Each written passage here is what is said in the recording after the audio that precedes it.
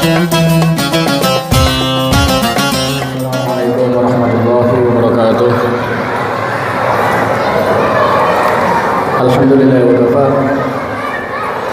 Wassalatu wassalamu ala nabiyil mustafa wa ala alihi wa sahbihi ahli sidqi wal wafat.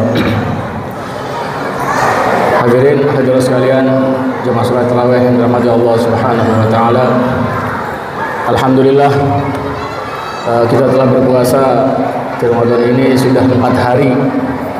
Tidak terasa dan insya Allah cepat karena Allah mengatakan puasa Ramadan itu hanya ayam ma'dudat. Beberapa hari yang berbilang jadi tidak lama hanya sebentar. Dan sekarang Alhamdulillah sudah melewati empat hari. Semoga tetap semangat sampai akhir bulan Ramadan dan juga semoga tetap diberikan kesehatan oleh Allah Subhanahu wa taala sampai akhir bulan Ramadan. Jemaah sekalian dari Allah Subhanahu wa taala bahwasanya ibadah puasa ini dalam agama kita termasuk amalan yang paling utama. Amal yang sangat utama. Ada seorang sahabat Nabi SAW bernama Abu Umamah Al-Bahili datang ke Rasulullah SAW dari mengatakan ya Rasulullah murni bi amrin yanfa'uni Allah bih. Wahai Rasul suruhlah saya dengan perkara yang mana Allah akan berikan manfaat kepada saya dengan perkara tersebut. Maka Rasulullah SAW mengatakan alaika bisyam fa innahu la adla lahu fa innahu la mithla lahu. Hendaknya kamu berpuasa. Kenapa? Karena sesungguhnya tidak ada ibadah yang sepadan, yang semisal, yang sama dengan ibadah puasa. Jadi ibadah puasa ini termasuk ibadah yang sangat afdol dalam agama kita.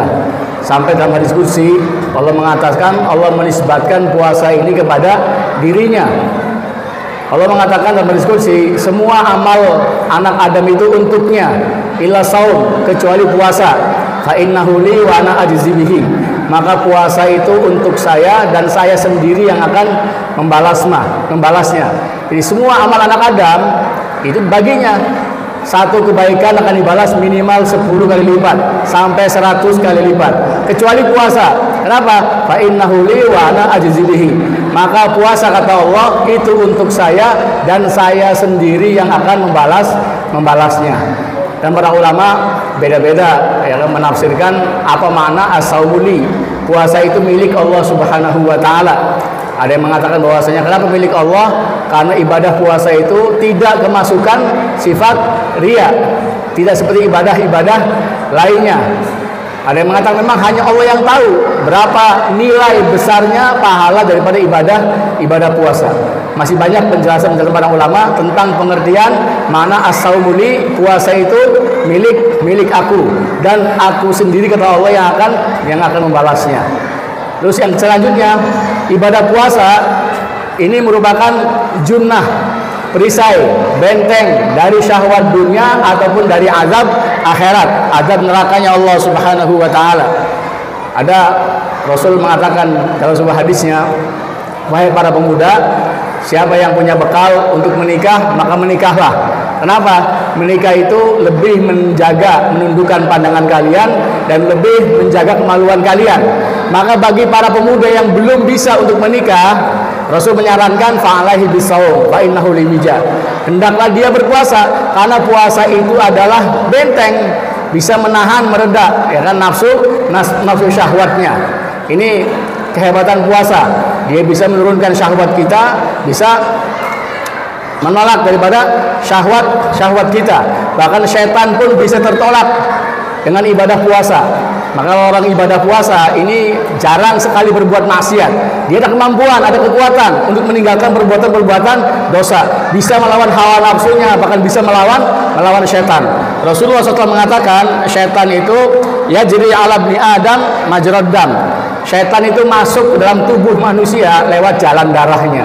Maka tutuplah jalan darah kalian tempat masuknya setan itu dengan apa? Dengan berpuasa dengan puasa. Jadi puasa itu masya Allah satu amalan yang bisa melawan hawa nafsu kita, melawan godaan daripada setan dan ada kekuatan untuk meninggalkan perbuatan-perbuatan maksiat.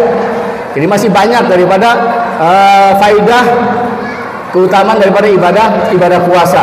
Dan yang paling penting puasa itu adalah satu-satunya jalan yang paling cepat ya sebab terbesar untuk mendatangkan ketakwaan dalam diri kita. Allah mengatakan, Allah berfirman, Ya ayyuhalladzina amanu kutiba alaikumusiyam kama kutiba alal ladzina min qablikum la'allakum tattaqun. Wahai orang-orang beriman, diwajibkan atas kalian berpuasa sebagaimana diwajibkan atas orang-orang sebelum kalian. Tujuannya apa? La'allakum tattaqun.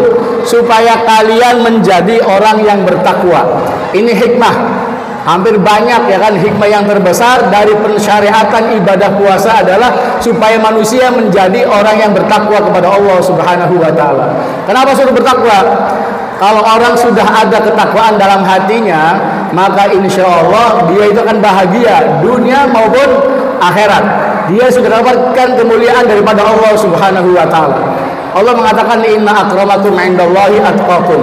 Sesungguhnya orang yang paling mulia di antara kalian adalah yang paling bertakwa di antara kalian. Bukan agnakum, bukan yang paling kaya, bukan akwakum, bukan orang yang paling kuat, bukan bukan yang kuat fisiknya, kuat badannya bukan, tapi orang yang paling mulia di sisi Allah ialah atqakum, orang yang paling bertakwa di antara kalian. Kalau ada takwa, insya Allah kita akan mulia. Dan banyak janji-janji Allah untuk orang yang bertakwa.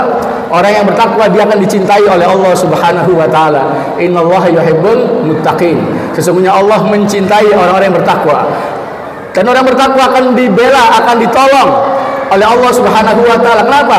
Allah akan selalu bersamanya. Allah mengatakan innallaha ma'al ladzina taqau. Sesungguhnya Allah bersama orang-orang yang bertakwa.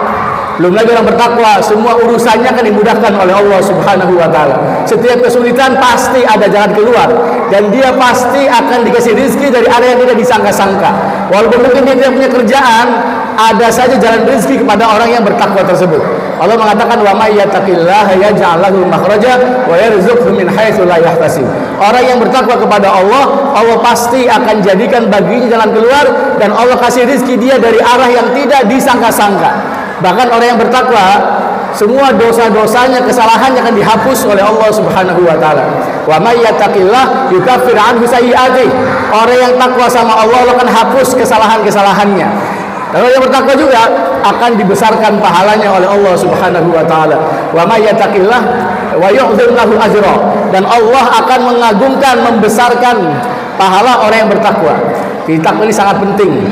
Kita harus punya sifat takwa. Sampai Allah mengatakan Inna dzalika min azmil umur. Takwa itu termasuk azmil umur, perkara yang penting yang harus kita miliki. Sampai Rasul minta ketakwaan kepada Allah Subhanahu wa taala. Rasul berdoa, "Allahumma ati nafsi taqwaha." Ya Allah, berikan pada nafsuku ini ketakwaannya dan cara yang paling cepat paling mudah untuk mendapatkan ketakwaan dengan cara ibadah puasa. Terutama kita dari bulan Ramadan itu paling tepat untuk uh, melatih kita menjadi orang yang bertakwa kepada Allah Subhanahu wa taala. Dan banyak janji-janji Allah bagi orang yang bertakwa. Orang yang bertakwa itu kehidupannya akan diakhiri dengan kebaikan wal akibatul muttaqin akibat yang baik buat orang-orang yang bertakwa. Dan dia akan selamat dari neraka. Wa sayyidun atqa. Akan dijauhkan dari api neraka orang yang bertakwa. Dan dia pasti akan masuk surga. Allah mengatakan wa jannatin arduas samawati wal ard wa iddat lil muttaqin. Surga yang luasnya seluas langit dan bumi itu Allah sediakan buat siapa? Buat orang-orang yang bertakwa. Yang jelas orang bertakwa di dunia mulia dimuliakan oleh Allah SWT di akhirat pun dia akan mendapatkan kedudukan yang sangat mulia juga. Sangat mulia. Allah mengatakan walladzina taqau fawqahum yaumal qiyamah. Orang yang bertakwa itu berada di atas mereka semuanya nanti di hari kiamat.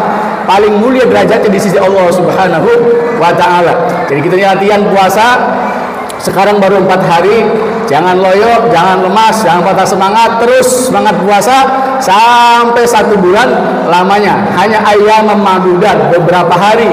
Yang berbilang sebentar tapi manfaatnya Masya Allah sangat-sangat besar buat diri kita. Kalau kita puasanya betul-betul karena Allah Subhanahu Wa Taala dijalankan sesuai dengan uh, aturan yang telah digariskan dalam syariat kita. Semoga Allah Subhanahu Wa Taala dengan puasa ini uh, memberikan kepada kita sifat ketakwaan Wallahu muwaffiq Assalamualaikum warahmatullahi wabarakatuh